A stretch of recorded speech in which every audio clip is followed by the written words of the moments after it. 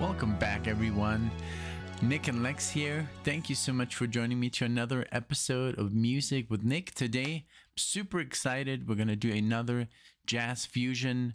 Um, I wanted to say like jazz fusion um master class on uh, what what I mean just the fusion players that I love. This is by um this is sponsored by RG. Thank you so much RG for you know for giving us this content and uh, I think all the jazz fusion lovers out there do appreciate all these requests and I was just blown away by this one. I mean I've pretty much been blown away by all of them, you know.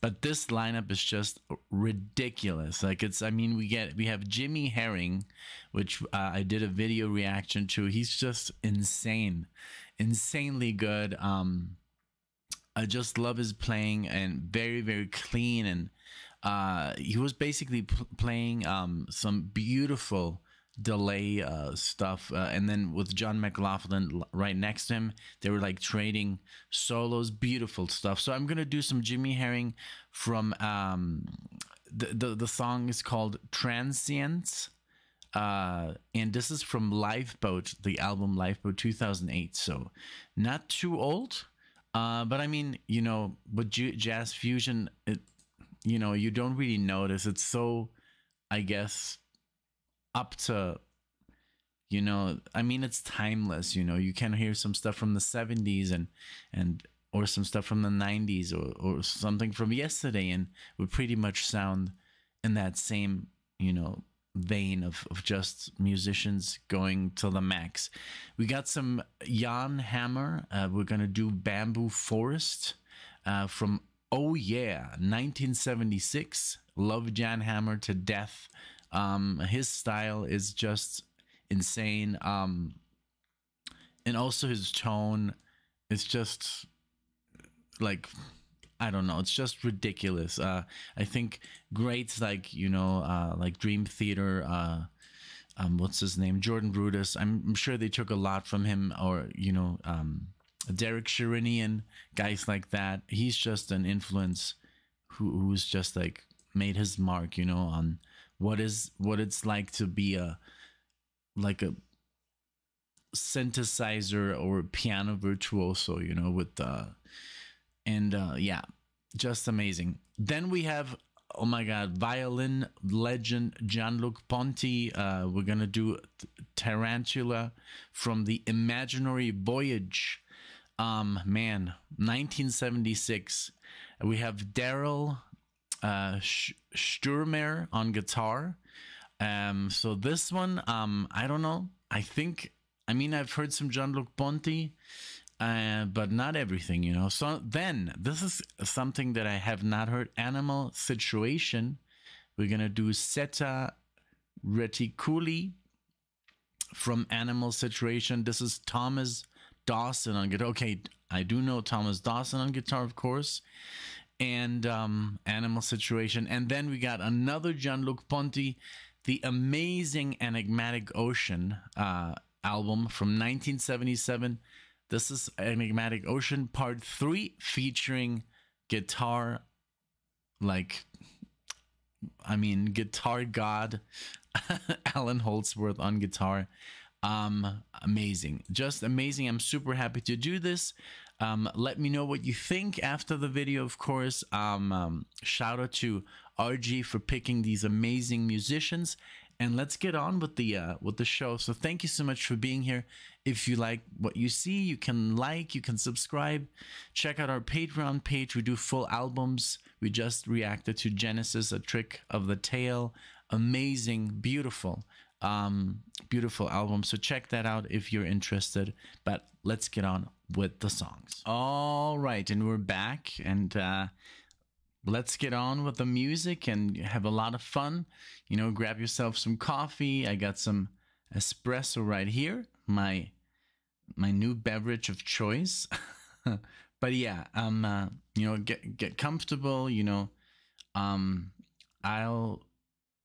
Uh, do my best to you know add commentary and uh you know talk of something interesting of course But I mean, with this music, it's pretty much like, what are you gonna say? You know, it's like just so good. But I mean, I'm sure i will find something to talk about. There's always something to discover with these guys, and it's just amazing music to react to because it blows your your mind. You know. So okay, let's start it off with.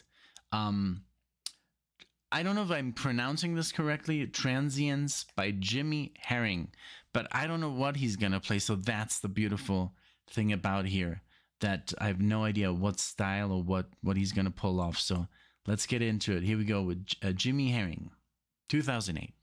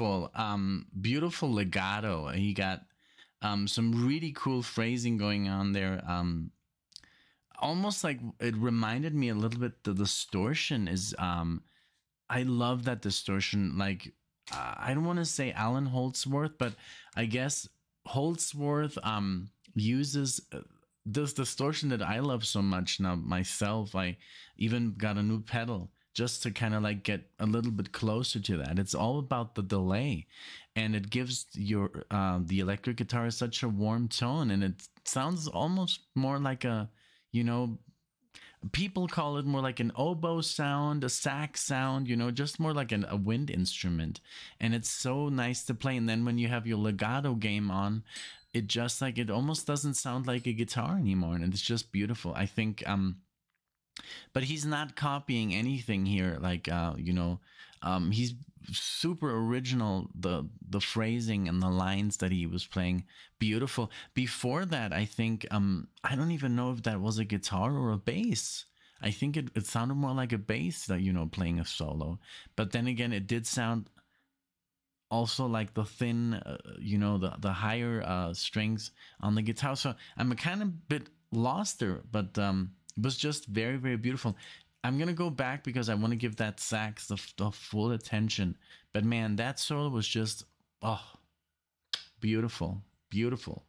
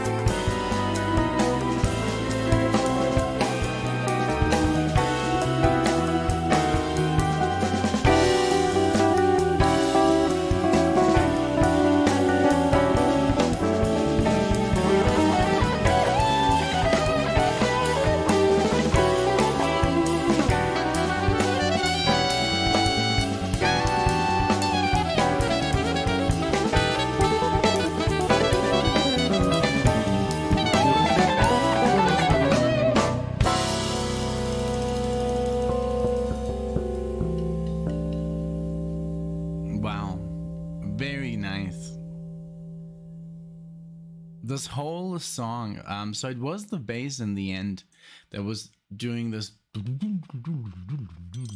Oh, let's wait for that for a second. Um, I thought I'd pressed pause.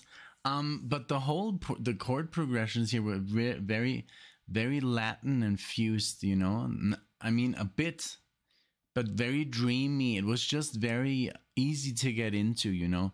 Um, sometimes we listen to some stuff, and especially with RG, you know, he he likes to go hard um, on the on the on the jazz, uh, especially on the fusion. Um, but this is this was more like this was very easily digestible by any, you know. Uh, I don't know by at least people that listen to guitar, you know, like maybe Eric Johnson or Steve Vai, or I think anybody would like this, um, or just regular jazz. It wasn't too out there, you know.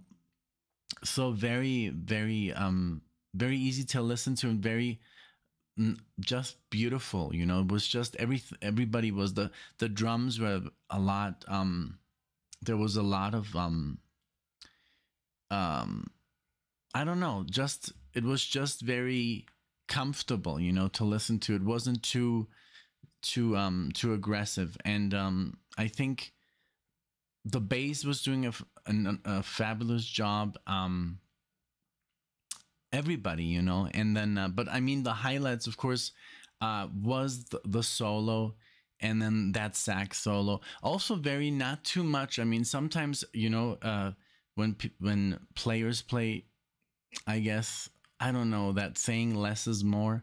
I don't know if that applies for jazz fusion because it's all improv, but it was just very nice and easy to listen to, and it was a great solo. I think by Jimmy.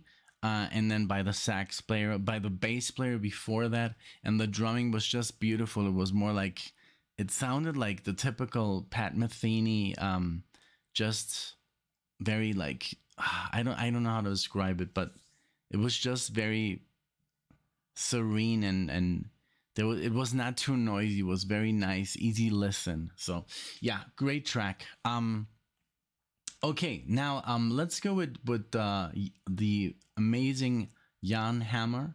Um, this is Bambu Forest. Let's go back here because I did start it for a second there. So let's go.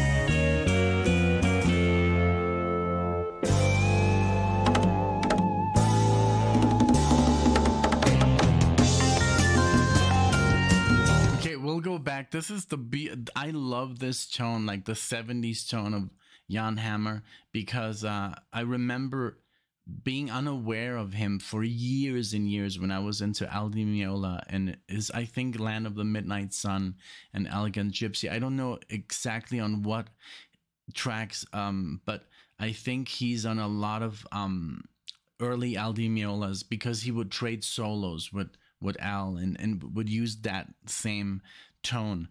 And he's I I always when I would listen to that I was like who is that? Is that a like a syntax or who is playing like this? And it was all this time it was him. So when when he just started right now, it, rem- it takes me back to albums, the early '70s albums of of Al Meola, which are just fantastic fusion masterpieces Elegant Gypsy Casino, Land of the Midnight Sun, Electric uh, Rendezvous. And there's just so much good stuff. I think there's one Hotel Splendido.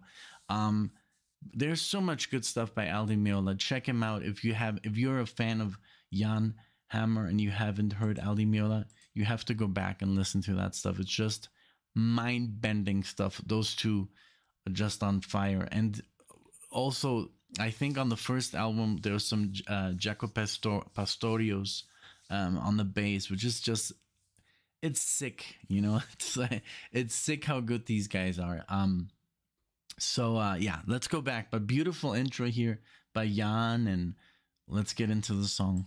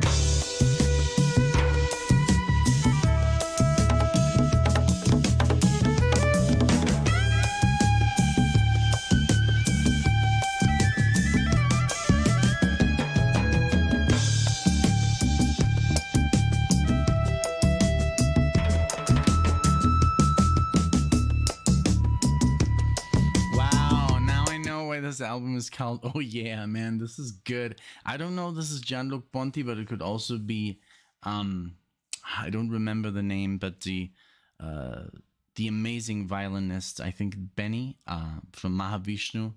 Uh, I don't know. I, I don't recognize the style yet. Um I haven't heard him enough, but this boom boom boom boom boom it's just like you know you know just listen. Um and uh, what i've um there's like a lot of confusion going on with um with people.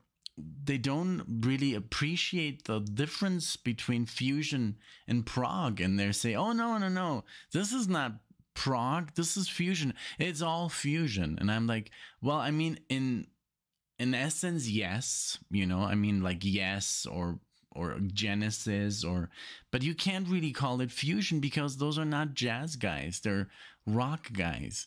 And I think fusion is jazz players playing rock music you know that's what's happening right here. And um that's fusion rock you know jazz rock that but it's jazz players. It's mostly jazz. They know their field. And then prog is rock players who mess with a little bit of jazz, a little bit of classical music, a little bit of world music, everything together. Uh, but I, I think it's very clear what jazz, uh, what fusion is, and what prog is. And a lot of people in the comment sections are like, "No, no, no, this is fusion. The prog, the prog, the prog term is like just something they came up with." But I mean, you have to kind of divide. You know, you there's progressive rock, then there's progressive metal, there is neo prog, there's all these different categories because they are different. So it's just kind of like I don't want to get into any debates with these people because they they you can't change their minds. You know, I mean, if if somebody thinks that yes is fusion, then and and and they're basically I've been there like I saw a comment I've been listening to yes since the 70s and I don't know where this prog term came out. So he since the 70s he has denied that yes is progressive rock. You can't change his mind. So yeah. Okay let's go back. You know let's go back a couple of seconds and let's take this in. This is a great riff here. Great groove they got going on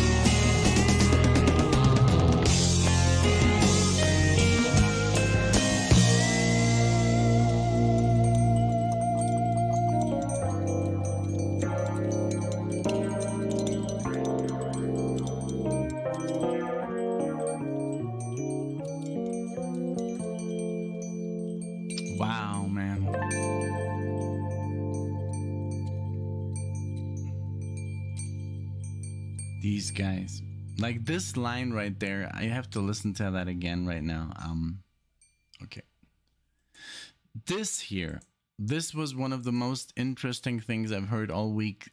Just to go out so much, you know, and just to come up with a melody that's not hum- harmonically uh, you know correct and make something so beautiful i mean listen I, let's see if i if I find it, but this. Okay, that was the. I already switched the goddamn song. Okay, let's go back to um Bambi Forest. Let's try. I just want to try. Okay, it was around here at the end.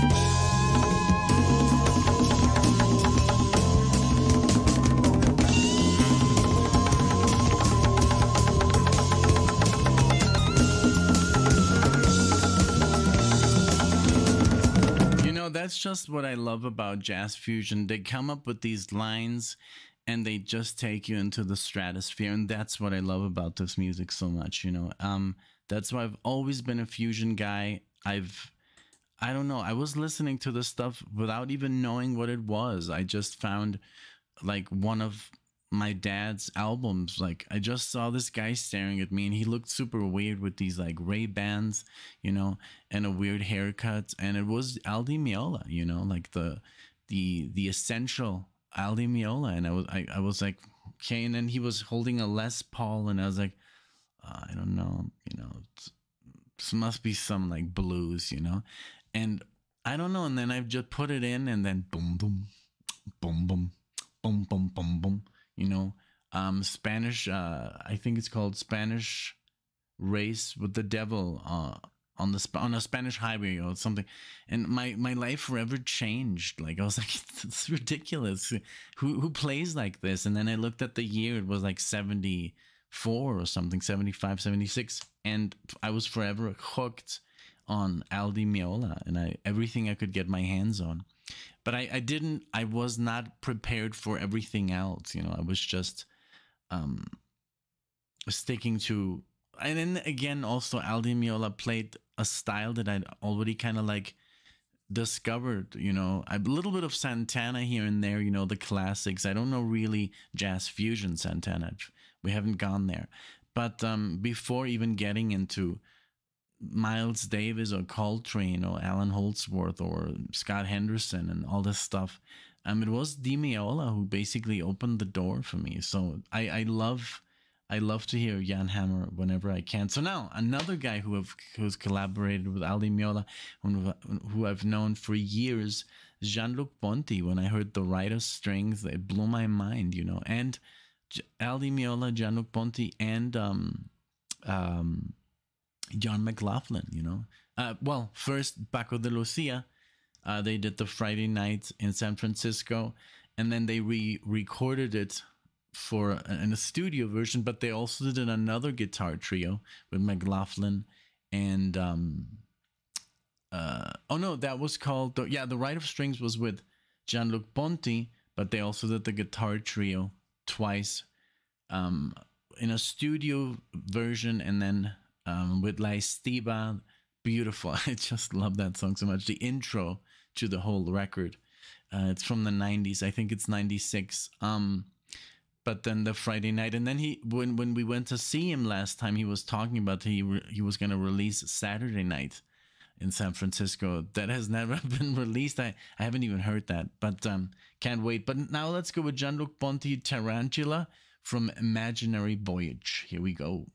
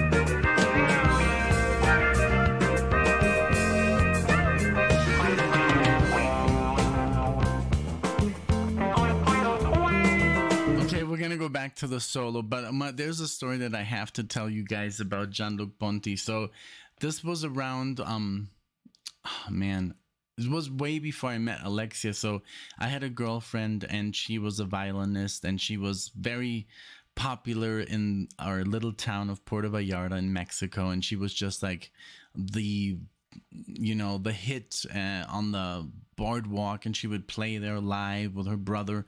And um, so we met and we started to, to date and blah, blah, blah. And then soon I was playing with them in the band and, um, and they would always ask me these are classically trained from they were from when they were kids right? And and um and they would always ask me like how do you improvise so well? Like why are you where do you get all these scales from? And i was like well you know I don't know, like I just don't read that much, you know, like because they would only read, they would only I remember um I took out some I don't know like Yngwie Malmsteen and I put it in front of her and he was she was like she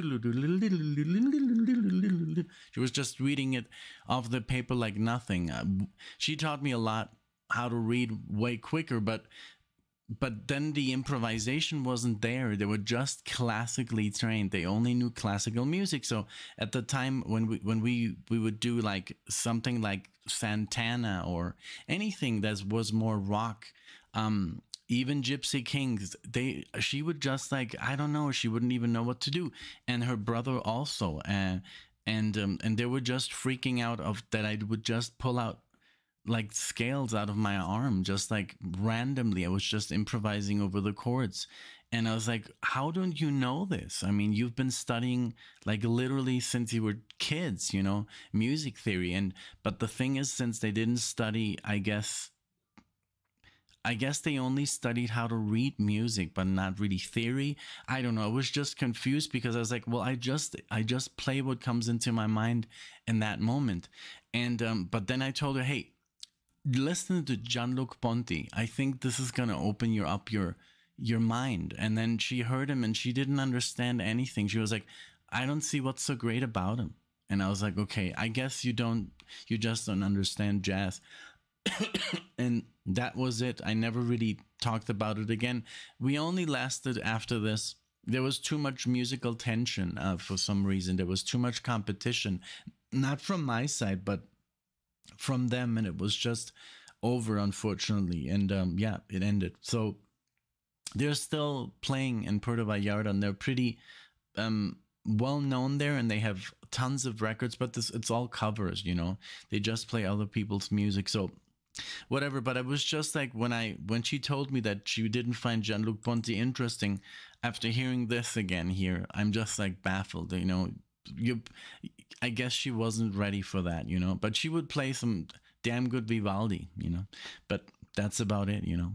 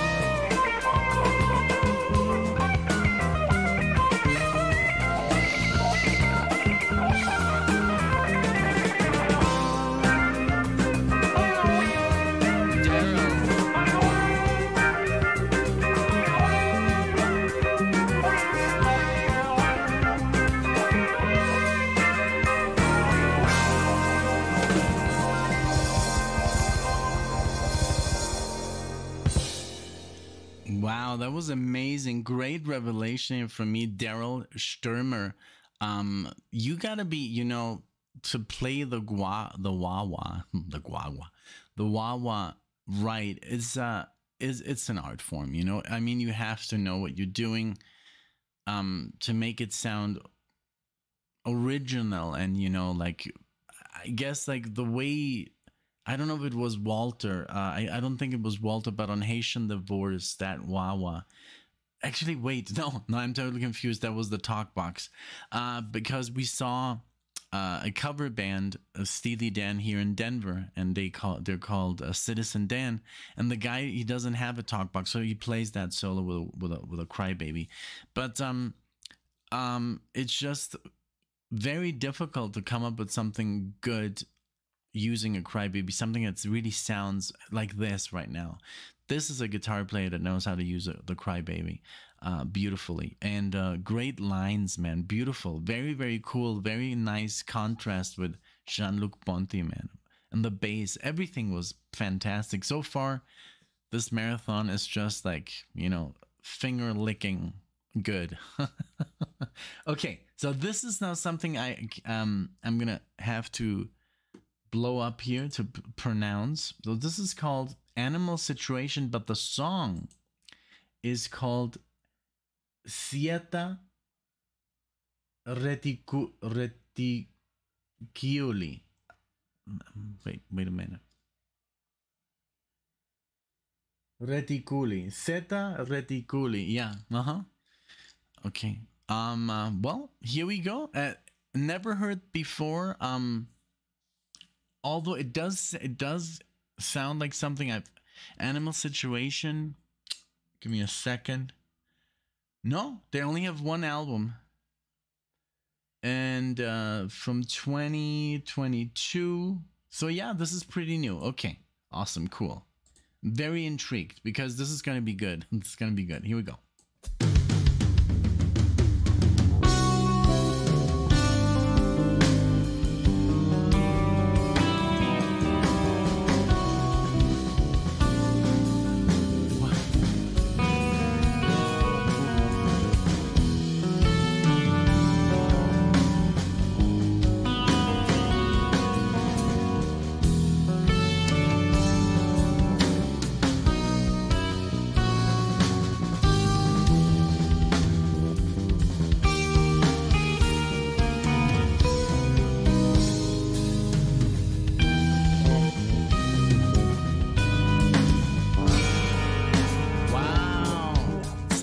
Like Holdsworth. The total the the chords are literally from like I I don't know like Sphere of Innocence. Um bum, bum, bum, Wow, beautiful. Jesus. The same style. I mean, wow, crazy. Let's let's get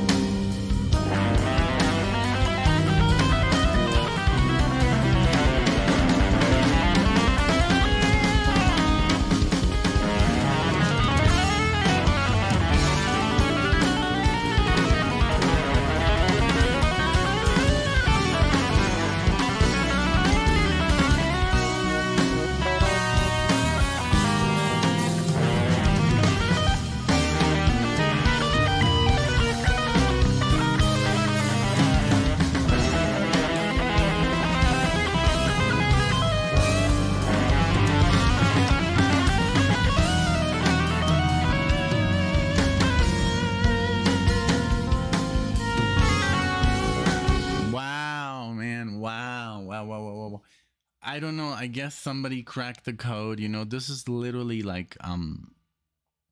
This this is the this is the um. The most Holdsworthian um guitar player I've heard that's not Allan Holdsworth. This is literally like there, but there's so many little like nuances of his playing, of his like phrasing in there. But then again, at the same time, he's very original. He sticks to his own, you know, improvisation, which is really, really unique because usually when you listen to Allan Holdsworth, um, um, I don't want to call it like imitators, but people that are very influenced by him, you know, then it's it comes to the point where it's like, well, it just sounds literally like Holdsworth. This guy here, wow, I'm gonna follow this this guy. Oh man, animal situation. I've never heard of this, but it's literally like it's like listening to Allan Holdsworth, like literally. Um, beautiful, beautiful. The, the same tone on the guitar. That's literally uh, the uh, the pedal that I uh, that I bought to sound like this because I wanted that warm guitar. It's a distortion, but it has this something that adds you that adds to it. And then when you play legato you get these beautiful lines. And and this guy's just killing it. The chords are amazing. Um, the drumming sounds very Holdsworth. The the the whole idea and concept sounds a little bit like um, if you listen to uh, Spheres of Innocence by Allan Holdsworth on the album uh, Warden. It's called Warden uh, Cliff Wardenclyffe Tower. Um, check that out. Um, I think, yeah, and the, I mean, but this guy, the way he improvises, while you know, giving us that feeling of Allan Holdsworth the school. The phrasing is there. Um, just when you listen to like years and years to Allan Holdsworth, and then you listen to this, you're like, yeah, he's definitely influenced and he has studied the guy. So it's beautiful to hear, especially in 2023, something that came out in 2022. And, and I'm sure he's a young guy. So blessing it's a blessing to have uh, people like that you know people that still dedicate you know to study this music because it's like we don't have Allan Holdsworth anymore and he was very unique so to get that you know style st- to have that style still going that's just amazing and this guy is just like that's one of the best guitar players I've heard in years, you know. it's crazy. Very, very good. Beautiful. Beautiful phrasing, beautiful lines, beautiful control. Um what can I say, you know? Wonderful. Very, very cool. Thank you, RG, for introducing me to this guy. I'm gonna follow um this guy closely. Um I think is there something in the notes? Give me a second. Thomas Dawson. Okay.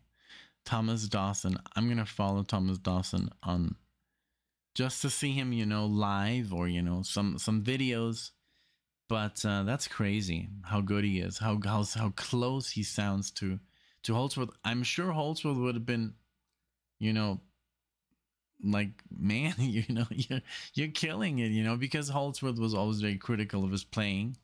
So um, I'm almost um, you know, happy that he waited, you know because it's uh, it's almost too good. Um, but I mean, again, I guess there's nobody who comes close, you know, at, on the guitar. But this guy is already there. He's already there. He's so maybe in another two three years, he just plays just just like him. I mean, he already plays like him, but I don't know. I just don't wanna. I would never wanna say, "Oh, this guy's better." than my favorite gu- guitar player in the world. So, but yeah, beautiful. Uh, kudos to to this guy to um Thomas. What a what a great what a great master. Because I've never heard of him, so I'm sure he's very young, but what a master already at at a tender age. It's crazy. Okay, let's keep let's keep going.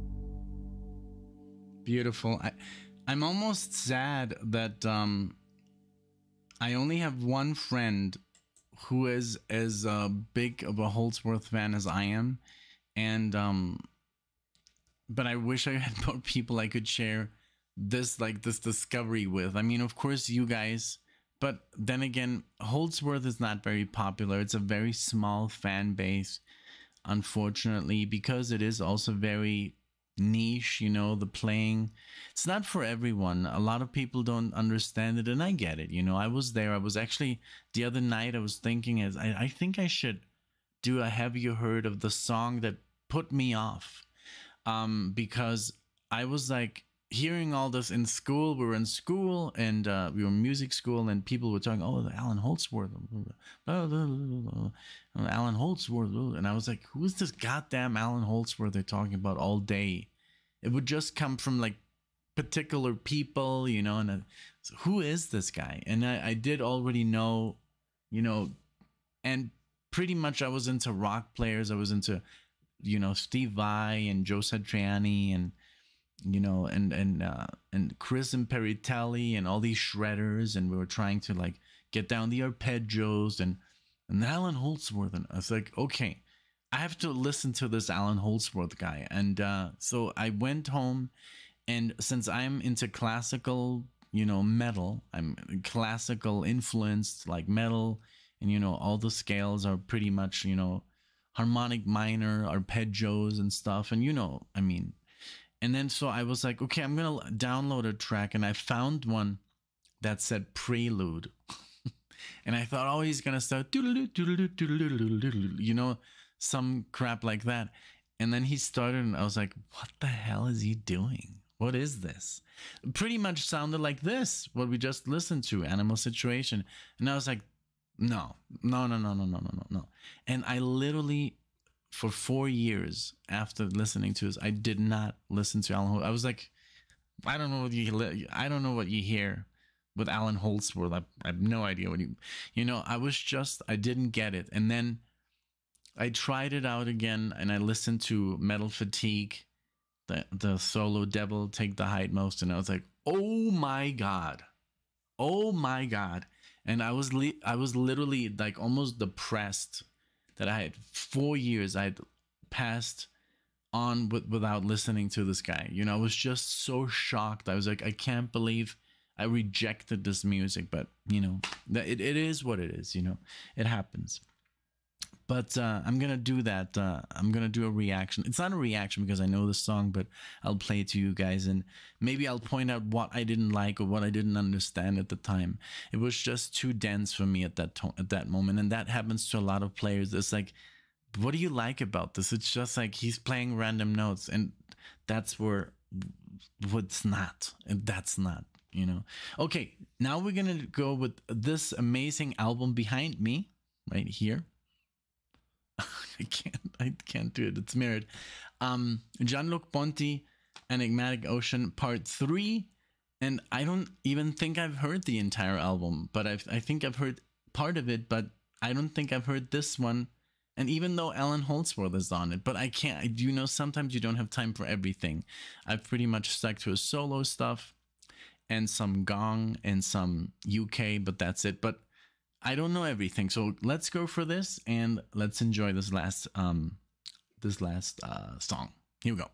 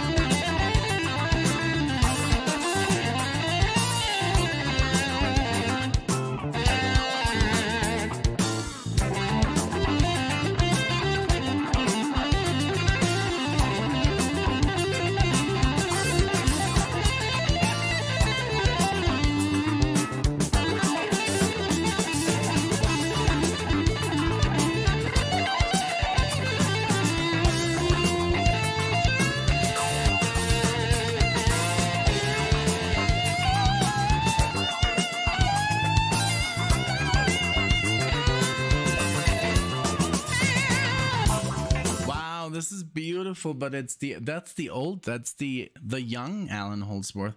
That is before he got that sound that I'm talking about. Let me show you this. Uh, I have to unhook this pedal here. This pedal does wonders, and he used to um, use like eight of them on uh, live. This is what gives you that sound. The um, um that Allan Holdsworth distortion with the because it has so many delays. It has like eight, six or seven or eight delays running at the same time, and uh, and here he he already has his legato game on, but he still doesn't have that sound that sounds like a, for example, that Thomas had on. You know, um, but I'm gonna show you a song if it's not too long, um, that I think got where he got his inspiration from. Of course uh, but this is beautiful improvisation, and and I remember in a video where they tell him uh, in the '80s, like, "Oh, Mr. Holdsworth, um, well, so, um, well, some people say, you know, like Eddie Van Halen, they say that you're like the best guitar player in the world," and he's like, "No, no," and I I, I think that that should stop. Um, all that, you know, all that talk, and I'm just getting started. Like that's what he said. He already had, I don't know, like five solo albums under his belt. And all this, UK, Jean-Luc Ponty had recorded this, and he was like, I'm just getting started. Like I feel like I'm just getting good. And that's that's what Allan Holdsworth was all about of self-critique. And he was very, very um hard on hard on, on himself. So you can see it in live performances. He's just like, ah, shit, you know. Even though he does something beautiful and that, but what isn't good enough for him? That was, I guess, just a battle he would fight with himself. That he was trying to reach a certain sound and a reach certain improvisation in that moment, and maybe he wouldn't get it. And he was just like, ah, oh, this is totally shit sucked. That's why I think there was never any record. Now since his death, there's been like seven uh, live albums released, you know, by his daughters and friends, and and they're beautiful. But I, I think if he was still alive, they wouldn't have been released because he was just very critical of his playing. But this is beautiful. I love the way he improvises here, but you can just hear that the tone is still very raw. It's more. It sounds like a guitar here, you know.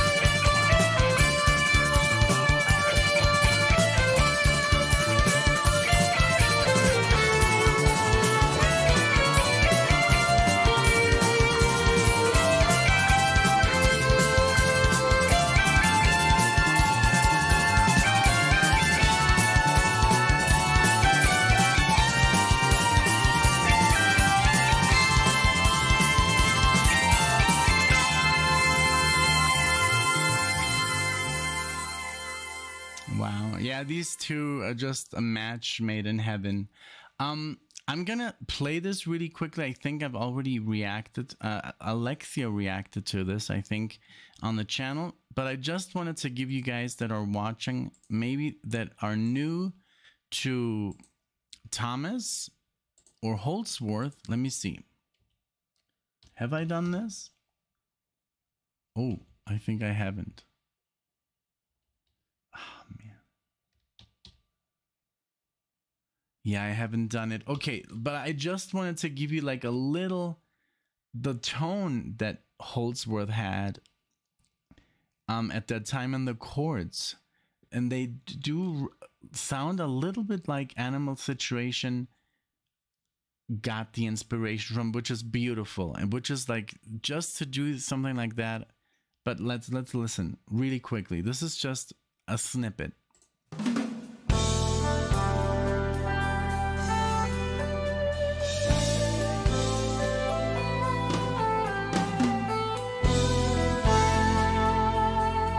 So here we have the Holdsworth sound that he had during the 90s and that spanned throughout the 2000s until practically until he passed away. But this is the sound that sounds more like a sax, more like an oboe. But listen to the chords here.